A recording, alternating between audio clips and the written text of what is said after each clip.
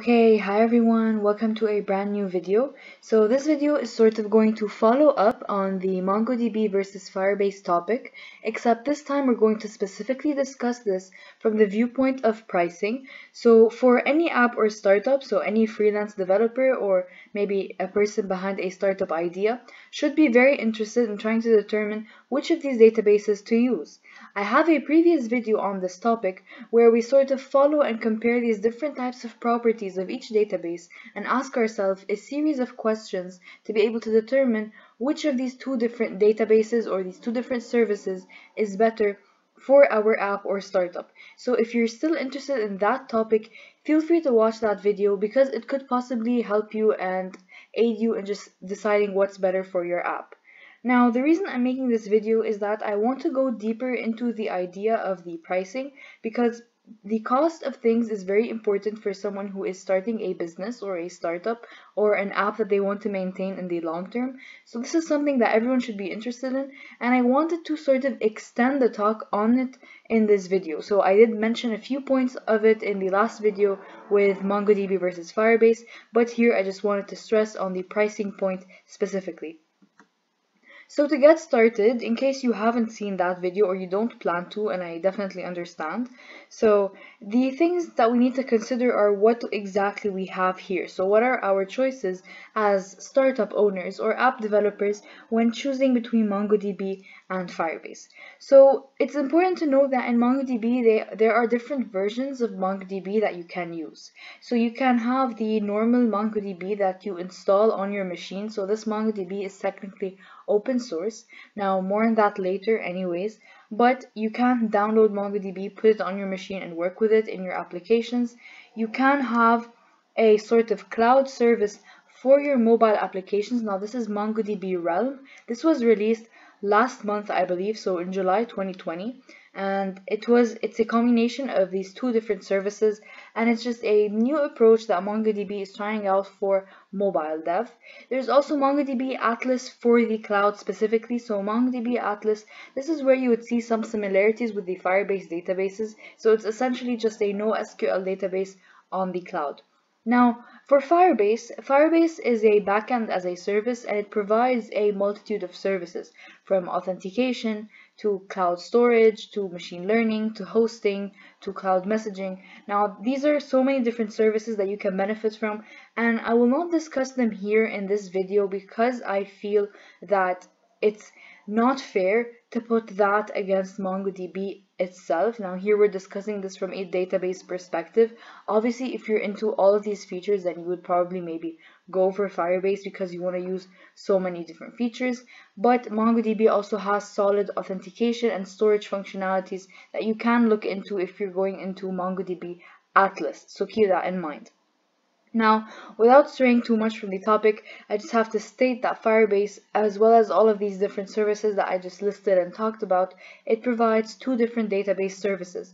The first one being the Firebase Real-Time Database. Now, this was the original Firebase database, but then a few years later they came up with the Cloud Firestore, which is real-time database on steroids basically and it's just a much more powerful and stronger version of real-time database. However there are many reasons for you to prefer using the real-time database and there are many developers who do to this day. So just because firestore is newer not necessarily does it mean that uh, this is something that um, this is definitely what you should go for. So for more on that, real-time DB versus Cloud Firestore, I also have a video specifically concerning this comparison, so check that out if you're interested. So enough about what we have. So these are basically our options. We have these different MongoDB versions, these two different Firebase services or database services, and now we can just sort of check out the prices and sort of understand what we have going here. So uh, first I'm going to start off with the Firebase pricing and then the MongoDB pricing and then sort of compare and just give some points or conclusions about these things. So to start with the Firebase pricing, the important thing to know about Firebase is that it has two basic plans. There is the normal plan, so the free plan, which is the Spark plan, that's what they call it. And there is the second plan, which, which is called the Blaze plan and one of these is free the other one is pay as you go so depending on how much you use from the database, how much requests you have, reads, writes, storage you're taking up, and all these sorts of different parameters that could determine how much you pay. So depending on that, you pay a certain amount. Now before they had a series of different plans, but I believe that recently this is all that they have. This is straight from the Firebase pricing website, so this isn't anything I've created or anything new, but this is something that you should keep in mind. So to continue on, so this is part of the same table necessarily, so these are these products and these are the uh, Spark plan uh, features and these are the Blaze plan features.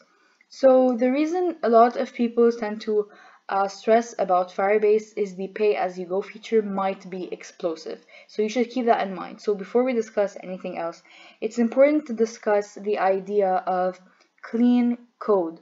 Now, I know that this is something constantly repeated and reiterated in the programming community, in the dev community, but it's important to focus on writing good code that's going to ensure that you will not make too many requests too many updates into the database.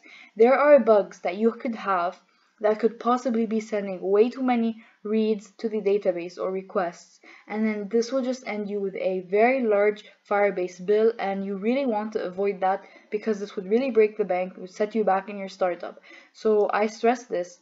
Now, obviously, if you're a small app or startup, you're probably going to start with the free version if you do choose Firebase. But this is a warning that you should start even as you are just a small app just start with good coding practices. This is a recommendation on my part because you don't want to regret this later. You don't want to grow as a startup and then have your engineers just go back and reformat all of this code just to make it more clean more concise and less sort of calls to the firebase database. But that's just something to keep in mind. Now just going back here we have the spark plan and the blaze plan now, the Spark plan with Cloud Firestore, it provides you with 1 gigabyte total of stored data. Now, if this is specifically text textual data, so this is from the database and not cloud storage, so this is textual data, this is actually really good because 1 gigabyte of text is a lot of text, meaning that you can store pretty much a lot of data. So do not expect to run out of the Cloud Firestore um, limits that you have very quickly. You're actually probably not going to anytime soon in your early days of your startup or in, even in the early growth of your startup. However, as for the other parts, such as the cloud storage, where you're storing photos and videos on the cloud, now if you're an app that relies heavily on media, such as photos or videos, now this is obviously not related to cloud storage, to Cloud Firestore specifically, but to cloud storage. So in that case, you might actually break the limits, but not in the, the database part, in the actual storage part. So if you're more about data, you will probably not break this limit anytime within your early days as a startup. If you do, then there is obviously a massive bug in your code or a something that's sort of repeating itself way too many times so you should always check that out make sure you're not inserting too much data make sure you're not keeping too much irrelevant data Make sure your updates are actually updates and not just new insertions. Now, this might sound stupid, but it's actually one of the causes that you can potentially have a um, a very explosive uh, number of uh, database items. So just keep that in mind. So like I said, for textual data, there is pretty much here nothing you need to worry about in the early days of your startup. By the time that you will need more of this textual data, you should probably be making some money um, from your startup and getting some revenue that you can reinvest into this part of Firebase. But like I said, this is pay as you go, so it depends on how much you use. Now, Firebase here, they know that huge corporations, large enterprises with lots of amounts of data would here have to pay them pretty much a lot. So keep that in mind, like if you plan on being the next big corporation, then maybe this is something you need to keep in mind.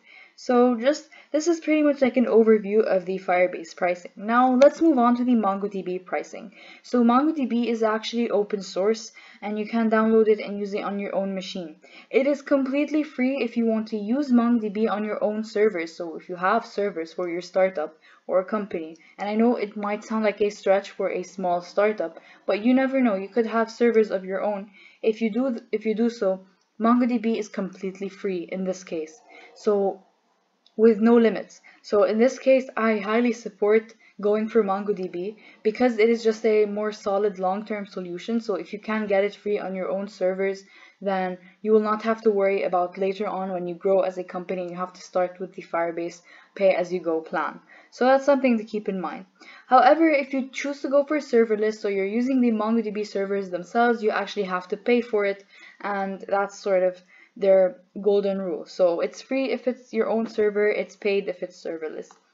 Now to talk about the pricing specifically, so for MongoDB Atlas, which is the cloud database of MongoDB, and you can store it on any different cloud provider. So this is sort of similar in a way to Firebase in which you have a NoSQL database hosted on the cloud. Now, you have these uh, different flat rate plans. So this flat rate thing tends to be very appealing to many business owners because the pay as you go thing can appear a bit too scary when you worry that if your users just explode by on overnight, you could say you could have this huge bill lined up from Firebase the next day. So keep that in mind. So you have these flat rates, potentially $95 a month for a large company could prove to be cheaper than what Firebase offers with pay as you go. However, it, we must note that the Firebase services are really wider, so you're also here paying for the authentication as well as you're paying for the cloud storage as well as everything else. Now we do have authentication in MongoDB Atlas, but it's just not as many services as Firebase. So keep that in mind. So here I want to just go back into that whole debate of which one of these databases has better features for your application because like I said this is already part of a previous video. So as for pricing these are the prices you have. Now you have a free option. You get 512 megabytes of storage free and you can scale up to 5 gigabytes. It's not a lot of storage so it's less than the Firebase free version. So for the free version, maybe you could go for Firebase, but for the long term, I believe MongoDB is essentially cheaper still than the pay-as-you-go version that could necessarily explode and relies heavily on the code quality that you have.